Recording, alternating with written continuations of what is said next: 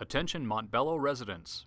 This is a community notification of a new sexually violent predator in your area. Please stay tuned to the following short program for more information. Hi, I'm Technician Ron Hackett with the Denver Police Department. The Sex Offender Registration and Compliance Unit at DPD is responsible for the registration, monitoring, and tracking of all registered sex offenders and sexually violent predators who live in the City and County of Denver. Here's a brief history of sex offender legislation in Colorado. Our state laws trickle down from federal government mandates. In 1994, we had the Jacob Wetterling Act, which mandated that states would establish a sex offender list. Megan's Law of 1996 said that the public would have access to those sex offender registration lists. The Pam Lychner Act of 1996 stated that some offenders might have to have lifetime registrations. And the Adam Walsh Act of 2006 unified sex offender laws across the country. In Colorado, the legislature has determined that sexually violent predators, by definition, pose a higher risk to the community at large and therefore mandated that upon their release from the Department of Corrections, the community must be notified.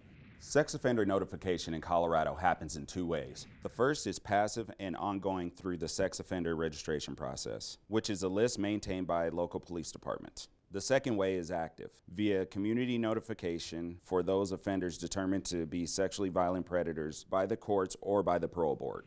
Most sex offenders in Colorado are supervised by the criminal justice system in our communities. Most sex offenders engage in crossover behavior, which means they may have been arrested for one type of crime but be apt to commit another. Many sex offenders have no criminal history at all prior to their arrest. There is no typical sex offender, but all tend to be deceptive, manipulative, and secretive. 80 to 93% of sex offenses are committed by someone known to the victim. Sexual deviancy begins in mid to late adolescence. Sex offenses are not impulsive. They are usually carefully planned, and most sex offenders are male. The community has a vested interest in helping offenders to be successfully managed in the community. Sex offenders have the same need for housing and employment as any other citizen. Any citizen who uses sex offender information to harass, threaten, or intimidate an offender will be subject to criminal prosecution. There are approximately 16,500 registered sex offenders in the state of Colorado. About 65% of convicted sex offenders are placed in the community on probation. The remainder are in the Department of Corrections or Community Corrections. Offenders may be caught for one type of offense, but be at a high risk to commit another type. Crime of conviction is only one indicator of risk. A sexually violent predator must register with the Denver Police Department Sex Offender Registration Unit every three months for the rest of their life. The offender's residence must be verified quarterly by the Denver Police Department.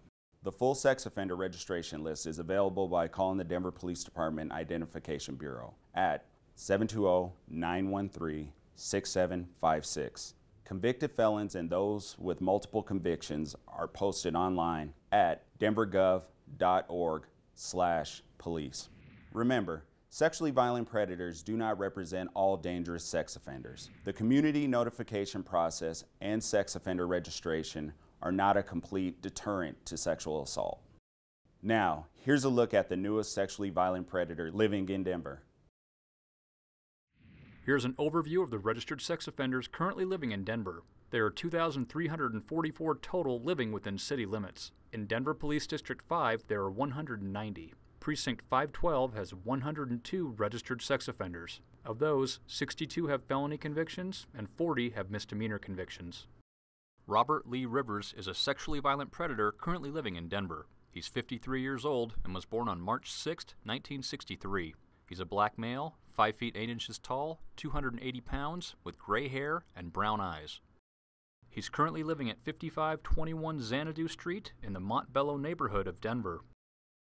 Schools located within one mile of this offender include Ames Elementary at 5440 Scranton Street, DCIS at Ford Elementary at 14500 Maxwell Place, Maxwell Elementary at 14390 Bolling Drive, Greenwood Elementary at 5130 Durham Court, DCIS at Montbello at 5000 Crown Boulevard, Noel Community Arts School at 5000 Crown Boulevard, Change Christian Academy at 12505 Elmendorf Place, Love Christian Fellowship School at 4651 Tulsa Court.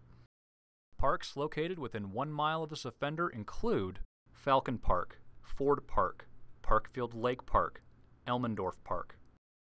Bus routes located within one mile of this offender include Route 54, Montbello Industrial Park, Route 45, Green Valley Ranch, Route 47X, Green Valley Ranch, Montbello Express.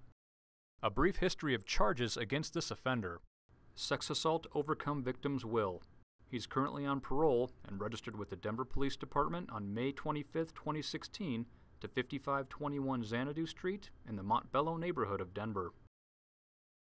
Past charges against this offender include burglary, battery domestic violence, unauthorized use of a motor vehicle. Robert Lee Rivers has been determined a sexually violent predator after meeting the following criteria. Criteria 1 Age 18 or older on the date of the offense, or under 18 and tried as an adult. The offender was age 41 at the time of the offense. Criteria 2. The crime must have been committed on or after July 1, 1997 and convicted on or after July 1, 1999. Crimes include sexual assault, felony unlawful sexual contact, sexual assault on a child, sexual assault on a child by a person in a position of trust.